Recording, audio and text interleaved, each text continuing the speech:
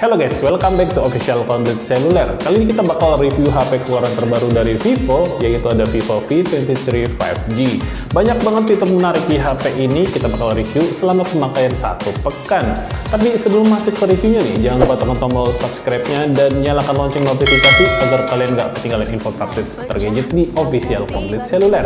Bersahabat orisinil terkini Complete Cellular to the tercanggih Complete Cellular saja Bersahabat tokonya Orisinil kualitasnya Terkini barangnya Complete Cellular saja Vivo V23 5G ini dia secara desain mengusung metal flat frame design di mana untuk bodinya itu terbuat dari bahan aluminium sehingga nyaman banget digenggam dan juga uh, sangat compact gitu kerasanya. Ditambah lagi di bagian belakangnya dia punya florid edgy glass design sehingga ini halus banget kerasanya dan tidak meninggalkan jejak sidik jari di bagian belakang. Ini adalah detail-detail kecil yang sangat penting untuk kenyamanan dalam penggunaan smartphone ya. Yang saya pegang ini, dia warnanya adalah Stardust Black, terinspirasi dari nuansa di malam hari yang punya bobot cuma di 179 gram saja. Dan untuk pilihan warna lainnya yang nggak kalah keren, ada Sunshine Gold. Ya, dia jadi punya teknologi color changing. Ketika kena cahaya matahari atau sinar UV, dia bakal berubah warna ya. Itu dinamakan color changing teknologinya. Dan ini adalah salah satu teknologi pertama di Indonesia yang menggunakan uh, teknologi UV color color changing. Mantap banget. Dan untuk yang Sunshine Gold ini dia punya bobot di 181 gram saja. Jadi untuk kedua warna ini juga udah tahan goresan. Jadi lebih terjaga gitu ya untuk HP-nya. Dan di bagian layar pun yang saya suka banget, dia bezelnya udah tipis banget di sisi kiri kanan dan juga dagunya. Yang membuat HP ini tuh terasa luas banget ya. Jadi lebih full sensasinya ketika kita pakai buat streaming atau buat bermain game. Di bagian layarnya, HP Vivo V23 5G ini dia punya ukuran di 6,44 inci dengan panel AMOLED display dan juga dia punya refresh rate 90 Hz. Bakal lebih smooth banget kalau kalian pakai buat medsos atau bermain game. Dan untuk resolusinya dia sudah Full HD Plus dan tidak akan kalah lagi nih, dia sudah support untuk HDR10 Plus ya. Jadi untuk warnanya bakal lebih tajam dan keasliannya sesuai dengan apa yang kita lihat, lebih akurat gitu ya untuk warnanya. Cocok banget untuk kalian para content creator. Dan untuk HDR10 Plus-nya juga sudah ada sertifikasinya dan ditambah lagi untuk sertifikasi high res yang menjamin kualitas video dan audio lebih baik ya. Hmm, jadi untuk sertifikasi itu ibarat ijazah ya. Jadi lebih kredibel gitu kalau ada sertifikasinya. Kemudian karena layar ini sudah dilengkapi dengan AMOLED display, pastinya untuk fingerprint sudah ada di bagian displaynya. Tinggal tap, jadi lebih praktis dan juga cepat.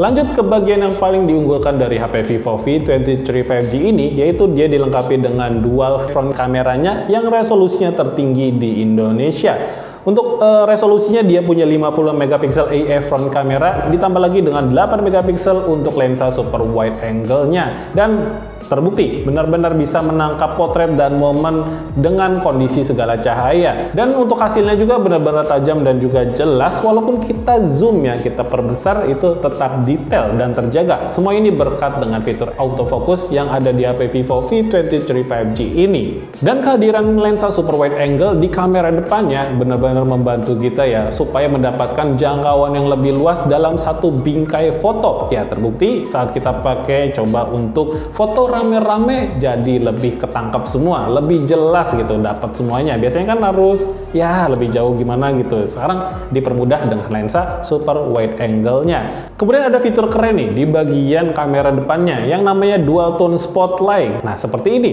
Jadi untuk flashnya ada dua dan kalian juga bisa uh, rubah sendiri ya untuk tone-nya. Jadi ada warm, cool dan juga default. Dan ini sangat membantu banget ya untuk kalian yang suka foto-foto di kondisi yang low light. Jadi bakal tetap aman di kondisi yang minim cahaya.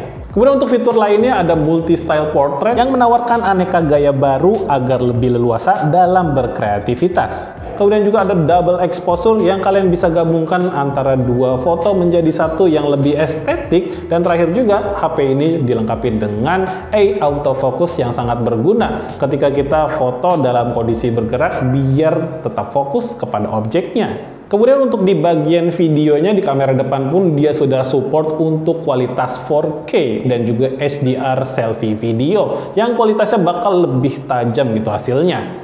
Oke guys, jadi uh, ini hasil kamera depan dari Vivo V23 5G.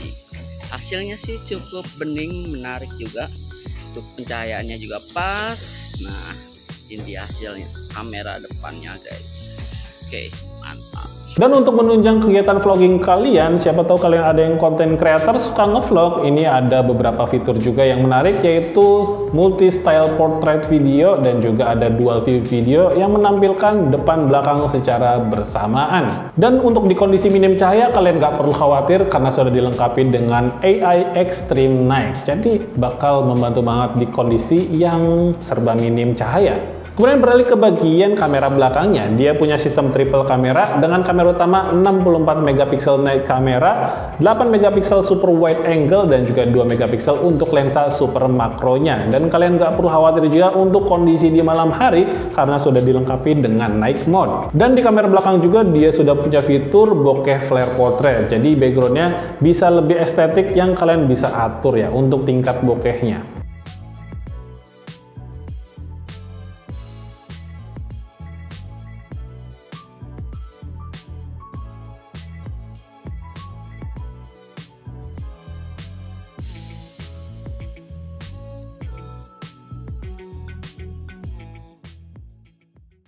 Sekarang kita beralih ke bagian performanya. Saya tahu banget ini pasti yang kalian tunggu-tunggu. Jadi di Vivo V23 5G ini dilengkapi dengan chipset dari Dimensity 920 yang punya fabrikasi di 6 nanometer saja. 6 nanometer itu kecil banget yang bakal semakin efisien daya tapi bakal tetap powerful.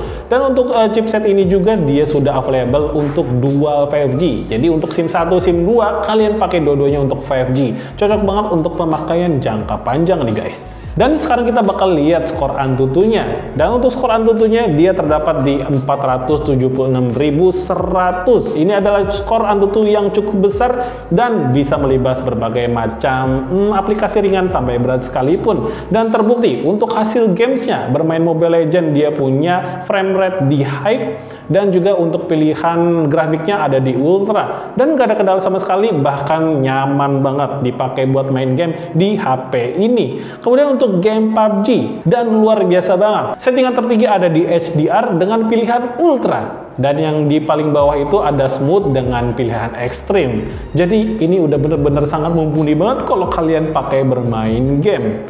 Secara performa ini benar-benar sempurna banget di HP Vivo V23 5G ini. Karena apa? Chipset yang gahar banget Dimensity 920 ditambah lagi dengan layar yang sudah support HDR10 Plus yang layarnya semakin nyaman ditambah lagi dengan refresh rate 90 Hz.